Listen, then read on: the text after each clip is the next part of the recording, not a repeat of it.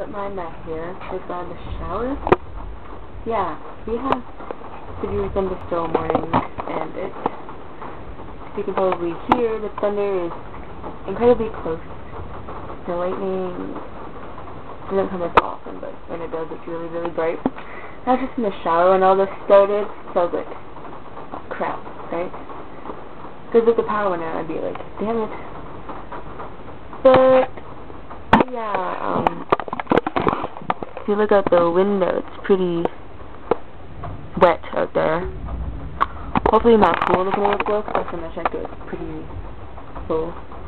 And mom's not home. How about she'd go out there and, like, put on the thing where it, like, drains water, right? But, yeah, I was planning on going out today, but guess not. Apparently the wind is supposed to ease up in the evening hours, and it's only 11 in the morning.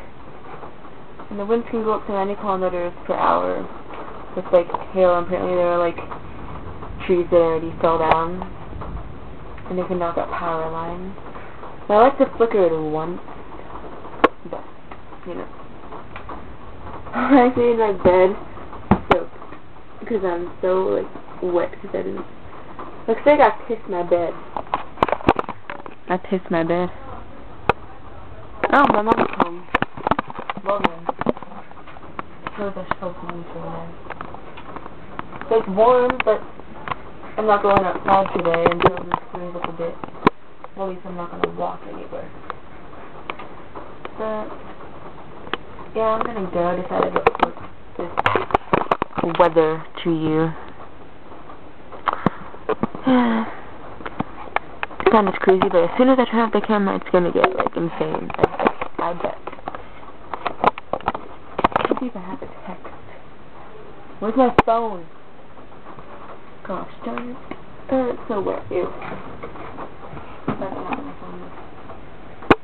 Anyways, I'm gonna go. Face is dry. I gotta wash wash my Okay. Uh,